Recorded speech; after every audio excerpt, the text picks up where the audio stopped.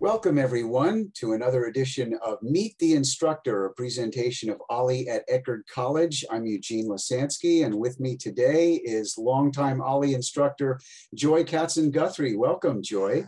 Thank you very much. Tell me a little bit about your your background, where you're from, and uh, you know what, where you went to school, that kind of thing. A little little bit about you.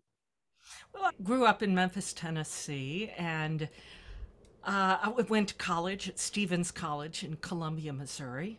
I majored in both music and broadcasting. I had decided that I would probably make a living in radio, but I'd been playing piano since I was about four. And I, I loved playing piano and uh, just didn't conceive of a way you could make a living in that unless you were some kind of classical pianist. When I was a really young kid, I dreamed of being Van Cliburn, and by my teenage years, I was very clear that I wasn't going to be as disciplined as any kind of life like that. That is a very focused, disciplined life. And I have a great many interests in many things. So at Stephens, I was able to really follow that double major, double degree uh, with degrees in music and broadcast journalism. How did you How did you come to OLLI?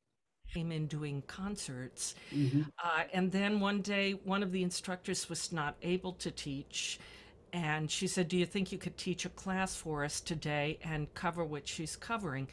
And I said, Well, I can do it at the piano. And I did a piano lecture from the grand piano in, in the Pelican Room and uh, they loved it. What's the most fun course you've ever taught?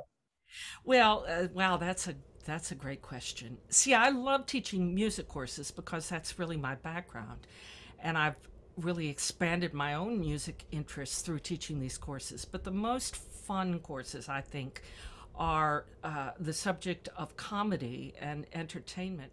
I began expanding out into comedians and into satire. And I love, love, love teaching satire and caricature and caricature in the way of cartoonery, in the way of literature, and uh, and of course in the way of impressionism and stand-up comedy and comedy commentary that we see so often into that. But I love teaching music courses because that's my background, and I am a pianist and longtime composer and pianist and vocalist. And I also love teaching the Jew, Jews of China.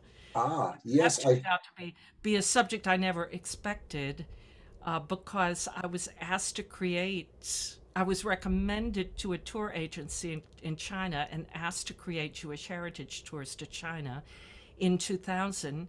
And when I began to research it, I was knocked off my seat. And so speaking on that subject is of great interest to me and it always fascinates everyone. Just a few seconds left. Uh, I have to ask you about your hats. You have some remarkable hats. How did that how did that get started? Just just very briefly.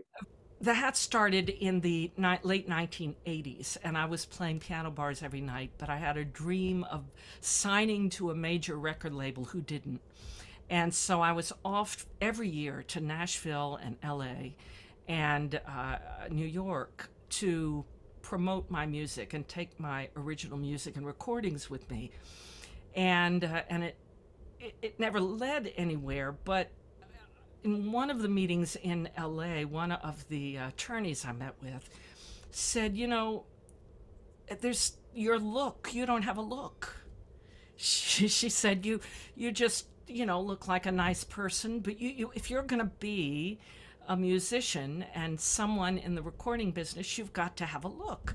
I think you would look really good in hats and longer earrings. But I experimented with the hats and I really fell in love with them and particularly with the two together. So so now I have a whole wardrobe of hats. It is a joy to, to have you on the faculty and I look forward to seeing you both in the classroom and on screen as well. I love that. Thank you, Eugene, for having me and giving me a chance to make a short story long again. You're welcome, Joy.